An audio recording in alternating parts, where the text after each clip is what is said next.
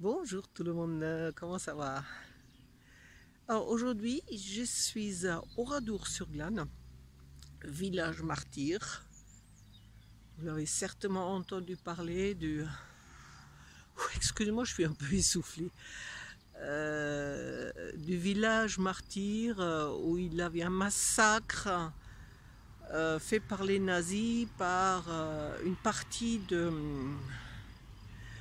de, Waffen-SS euh, allemands sur leur chemin de retour direction, en fait, euh, sur le chemin direction Normandie, quelques jours après le débarquement des Alliés, le 6 juin. Donc c'était le 10, ju- 10 juin 1944. Ça fait 75 ans.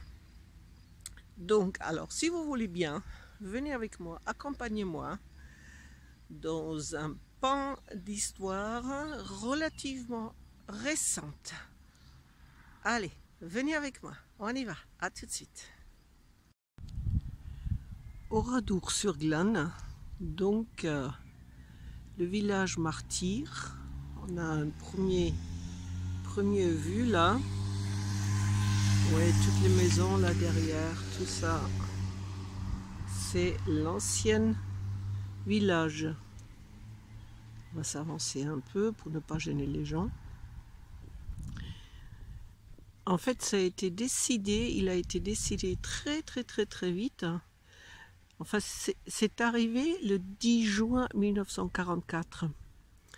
Et très très très vite, les gens ont décidé de ne pas reconstruire le village, mais de le laisser dans l'état où il était au moment des faits. Entre-temps, vous savez comment c'est, quand on reste rien, quand on s'occupe rien, il y a la nature qui prend le dessus. Donc maintenant, euh, c'est beaucoup plus compliqué de conserver ce village dans l'état que de le laisser complètement à l'abandon. Alors il y a des travaux à faire quand même, hein. des travaux de, de conservation. Euh, il y a un, procédé spécial, c'est-à-dire on injecte de la résine, on soutient, on construit quelques soutiens, quelques poutres, quelque chose comme ça, pour que ça s'écroule pas complètement, premièrement, et deuxièmement, pour que la nature n'envahisse pas complètement le village. Pour accéder, il faut passer par le centre de la mémoire. Voilà. Il faut passer par là et ensuite il y a un passage pour aller l'autre côté pour visiter le village. Donc voilà l'entrée, village martyr et centre de la mémoire. Il faut passer par là. À l'intérieur, c'est interdit de filmer. Et ensuite, il y a un passage pour aller en face dans le village.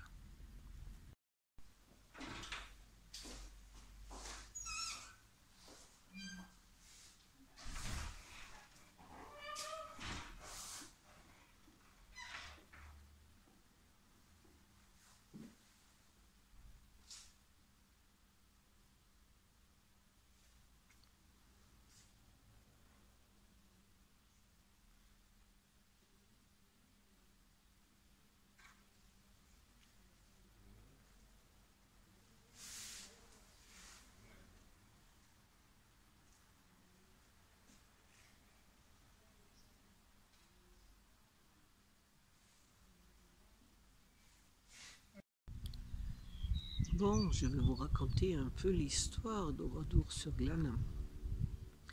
Ah, vous savez que le 6 juin, il avait le débarquement des Alliés en Normandie. Et donc, du coup, tous les troupes qui étaient, tous les troupes allemands qui étaient stationnés ici, dans le sud-sud-ouest de la France, ils étaient mobilisés pour aller le plus vite possible en direction de Normandie pour aider les troupes attaquées par les Alliés. Euh, cette partie de, la France, à l'époque, était une partie de la France libre. Mais euh, les troupes au retour, euh, les troupes allemandes au retour, donc ils ont passé un peu partout. Donc voilà, ils étaient mobilisés, aller direction Normandie, 888 le plus vite possible.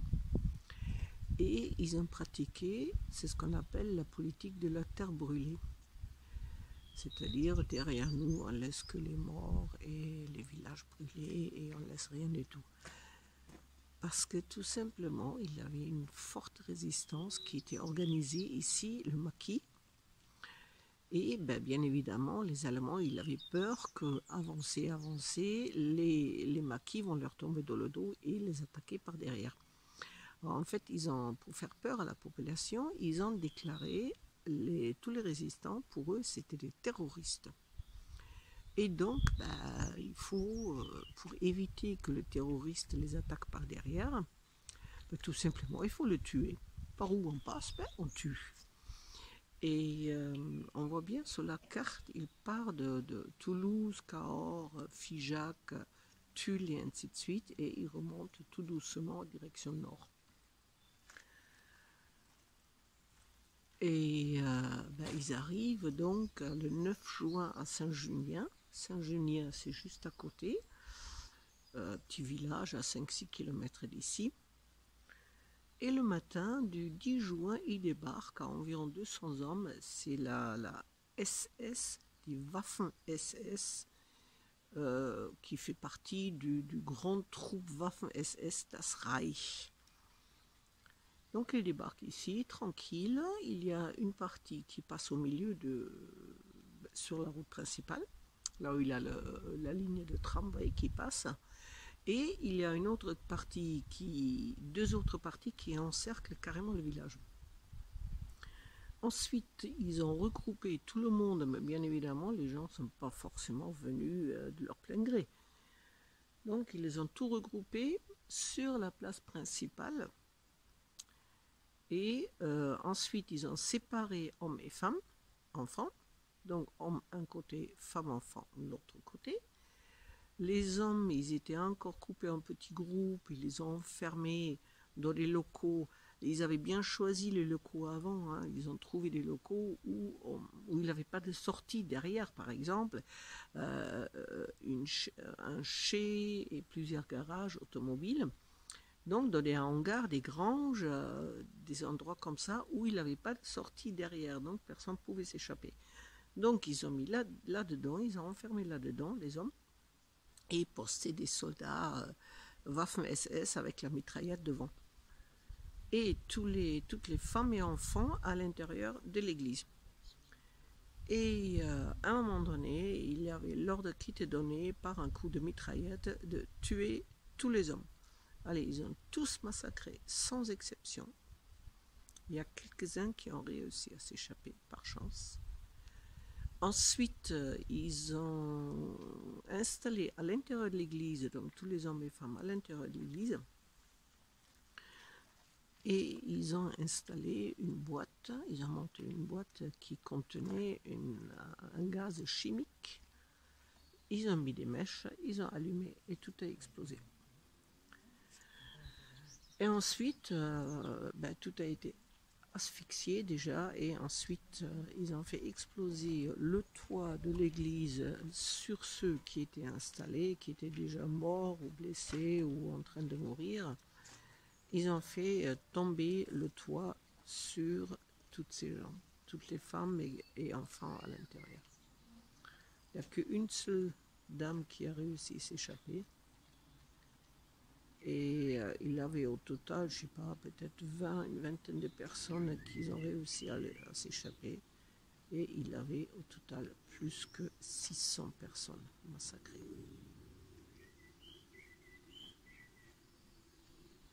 Le lendemain, ils ont revenu. Ils ont fait le ménage. Ils ont jeté des corps dans les puits. Ils ont mutilé tous les cadavres pour euh, empêcher une, reconnaissance, c'est-à-dire vous ne pouvez plus reconnaître les corps, pour enfin une identification. Voilà l'histoire de Oradour sur Glane.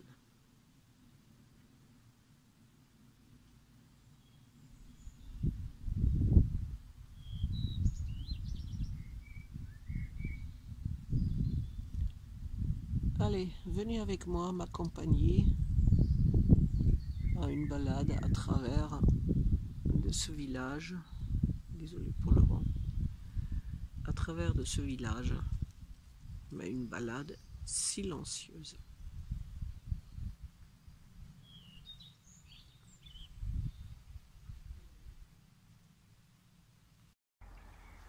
Donc nous voilà à l'entrée du village martyr, l'ancienne rue principale.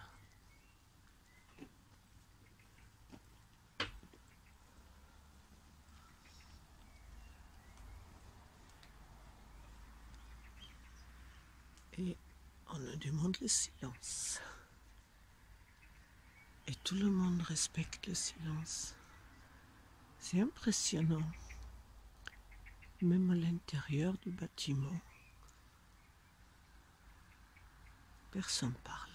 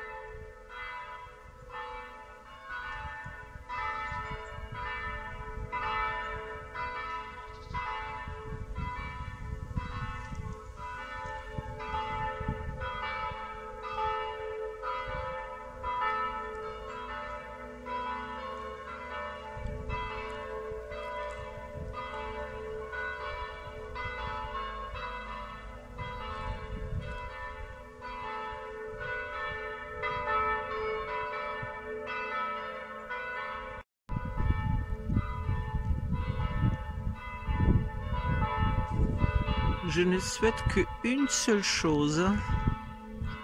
Plus jamais ça.